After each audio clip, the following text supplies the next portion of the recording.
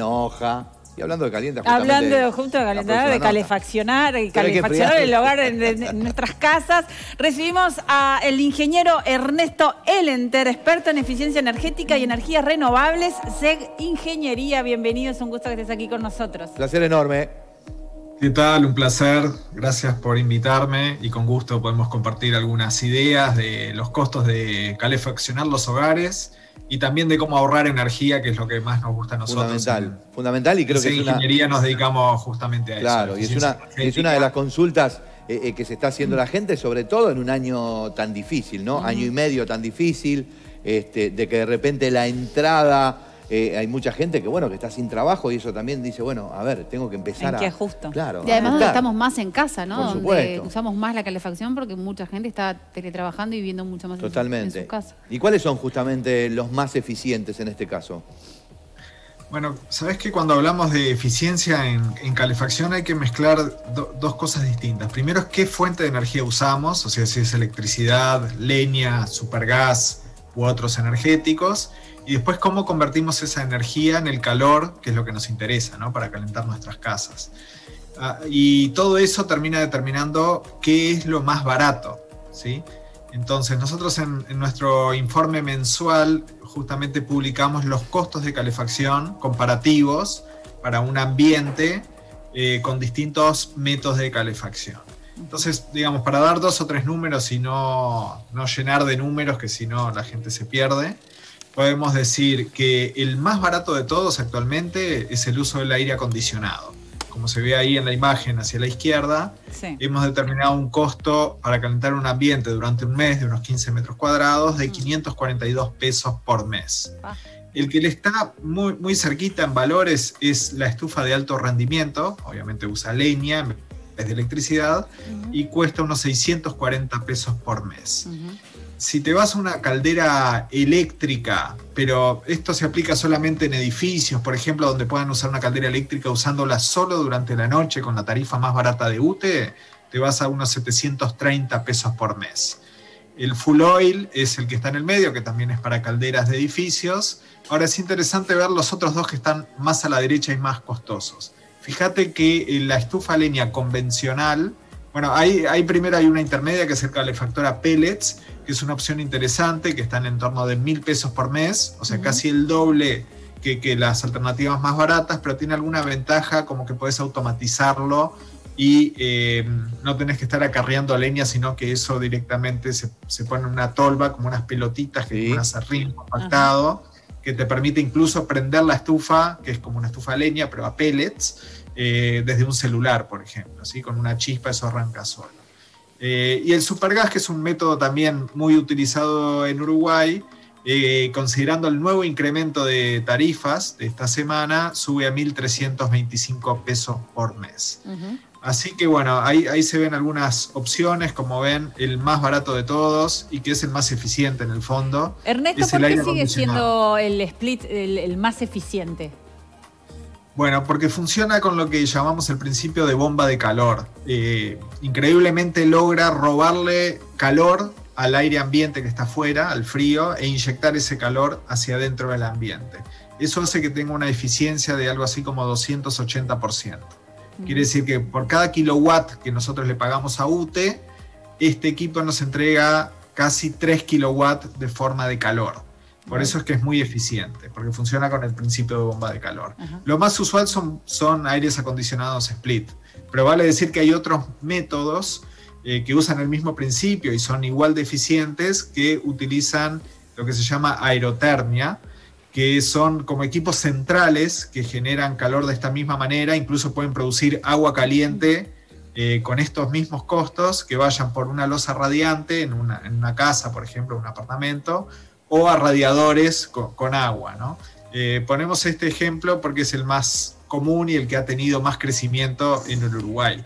Fíjate que, fíjate que en el 2008 en Uruguay apenas el 10% de los hogares tenían sistemas de aire acondicionado y en la última encuesta continua de hogares del 2019 el 43% de los hogares tienen aires acondicionados. O sea que evidentemente el 10 al 43% creció muchísimo la participación del uso de estos sistemas para calentar nuestros hogares, justamente debido a su eficiencia y bajo costo. Pero claro, acá estamos hablando solo de costo puro, el confort es otra cosa, ¿no? A veces uno quiere para calentarse algo. Yendo un eso, el confort y, la, y, el, el, costo, ¿no? Como las dos cosas, teniendo en cuenta esta nueva vida de la que te decía, la variante, ¿qué tipo de vida se tiene? ¿Cómo es tu casa? ¿Qué rol juega? Claro, eh, por ejemplo, si vos tenés un sistema de calefacción por losa radiante, que tenés el piso calentito, es mucho más agradable que un aire acondicionado que lanza un chorro de aire caliente, que hace un poco de ruido, que puede, que puede molestar, ¿no? Eh, a su vez, las estufas a leña tienen un, encanto muy especial, ¿no? Porque es un calor radiante que se disfruta mucho, este, porque se siente una sensación muy especial y hasta algunos hablan de cierto romanticismo, ¿no? Y bueno, tiene todo, una, todo como un ritual, ¿no? Prender la estufa leña. Pero bueno, este, en estufa leña quiero mencionar que es el, el, último estudio que hay en Uruguay sobre potencial de ahorro de energía a nivel macro, a nivel país. Las estufas a leña, por ser eh, tan ineficientes, las estufas abiertas, ¿sí? que en nuestra tabla comparativa eh, muestran un costo la pérdida de, calor, claro. unos 1.600 pesos por mes en vez de apenas 640 pesos por mes, es la estufa a leña de alto rendimiento, o sea, nos cuesta casi el triple. Eso es por la baja eficiencia que tienen las estufas a leña abiertas, las comunes y corrientes, ¿no? O sea, mucho romanticismo, eh, pero poco, eficiente. Para un fin de semana. Poco eficientes porque no logran controlar la combustión. Entonces, al final, por cada 10 kilos de leña que vos metés, hay aproximadamente 7 kilos de esa leña ah, que se van como humo caliente por la chimenea y solo 3 de esos kilos se convierten en calor para, el hogar. Porque como no logran controlar bien la combustión, hacen como un efecto de succión que se termina yendo la mayor parte del calor por la chimenea en forma de humo caliente. Pero bueno, una solución a eso a los split también hay que, a los split también hay que determinadas pautas para que tengan mejor rendimiento, en la temperatura en la que uno lo pone, eh, el mantenimiento que hay que hacerle. Sí, efectivamente, ahí podemos dar algunos consejos sobre ahorro de energía en general, eh, empezando por este que vos mencionabas, en, el sistema de aire acondicionado. Y en general en la calefacción siempre sugerimos usar un set point de temperatura razonable y no irse al diablo con eso, ¿no? Hay algunos lugares donde la calefacción está seteada en 28 grados, donde la gente anda prácticamente en calzoncillos, ¿no? Porque se muere de calor, o hasta terminan abriendo la ventana, porque capaz que es un edificio, que en algún piso la calefacción está muy fuerte, y eso es un derroche energético tremendo. Por cada grado extra que vos pones la calefacción, gastás algo así como un 5% más de energía. ¿Y cuál es Entonces siempre sugerimos la temperatura de confort recomendada es de 21 a 23 grados, no más. ¿sí? si realmente logras tener el ambiente en 21 a 23 grados, puedes estar en una, en una temperatura de confort totalmente razonable y agregar más grados a eso. Si en vez de 23 la pones en 28, que son 5 grados más, eso por 5% estás gastando como un 25% más de energía inútilmente. Ni hablar si, si está en exceso la calefacción y terminas abriendo la ventana este, cosa que he visto en algunos edificios de por ejemplo. Este, sé que no, esto es en algunos casos puntuales, ¿no? pero elegir ese punto de temperatura correcto es uno de los consejos que, siempre damos. Y lo otro muy importante, bueno, este, recién mencionaban el tema del mantenimiento de los aires, sí, eso es importante, también limpiar, limpiar los filtros de los aires acondicionados regularmente, una vez por mes, porque si se tapan eso eh, hace que funcione peor el equipo y de manera más ineficiente. Es muy sencillo limpiar los, los filtros de los aires acondicionados, lo puede hacer cualquiera en su hogar. El otro consejo que me gusta dar en relación a este tema, y bueno, al que quiera eh, recibir más de esta información puede seguirnos en nuestra cuenta de Twitter, que es arroba segingeniería, ahí brindamos mucha información sobre eficiencia energética y energías renovables, pero algunos tips puntuales son, lo primero es contratar bien la tarifa de UTE. Esto aunque parece una, parece una tontería, es fundamental los que tengan la tarifa de UTE equivocada pueden estar pagando 20, 30% o más eh, que lo que les corresponde solo por no haber hecho un trámite en UTE. Es un poco largo de explicar ahora, así que les recomiendo a todos que llamen a Telegestiones de UTE en 1930 y se asesoren para saber si están en la tarifa correcta. Hoy en día eh, los hogares en el sector residencial tienen cuatro tarifas eh, opcionales Así que pueden estar en la tarifa equivocada y estar pagando de más. A veces un mero trámite ahorra 30% en la factura de UTE, así que eh, importante trabajar en eso.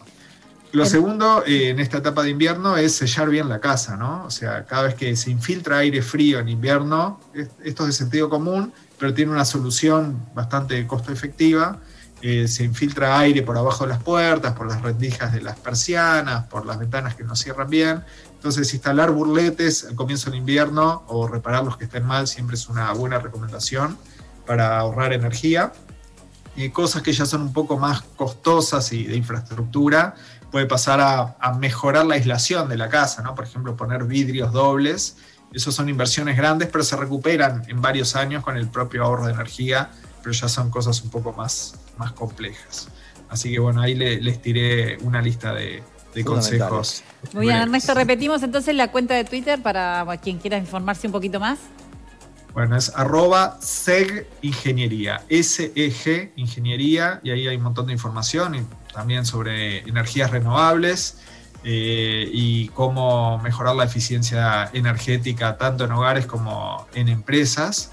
De paso, menciono una cosa que acabo de ver en el sitio de generación de energía eléctrica de Uruguay.